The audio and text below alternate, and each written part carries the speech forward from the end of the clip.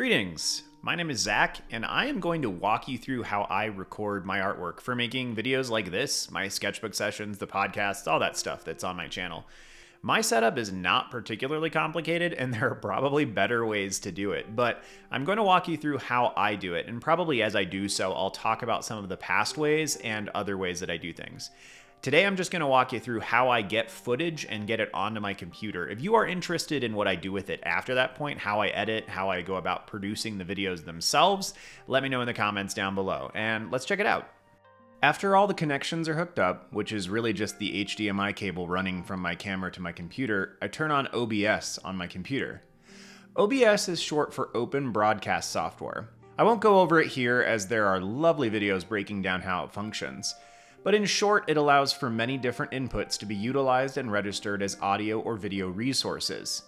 It is what I use for basically everything that I don't do with my iPhone, and nowadays the phone accounts for almost nothing. The only thing in addition to the HDMI cable itself is a capture device. Not a very expensive thing, but this helps to convert the signal so that OBS understands it correctly. All the hookups complete, I turn on my camera.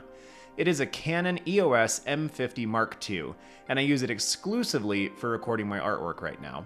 I use the standard lens, though I own another that I may at some point use for recording headshot videos.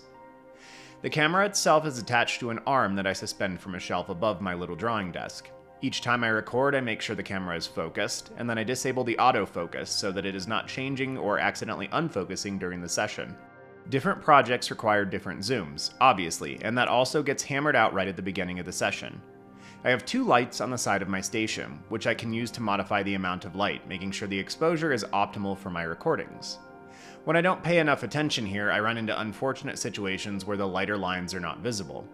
I have western exposure in this room, which means that the light comes through very differently throughout the day.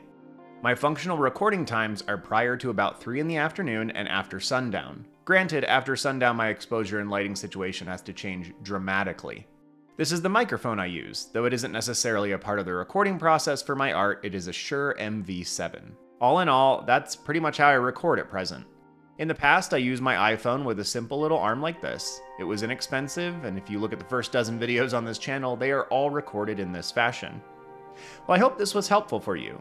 Don't let technology stop you from recording your artwork, from making videos, or just cataloging your work. It's fun, albeit maybe a little bit nerve wracking at first, but it's a good skill to have and allows you to share your work more readily.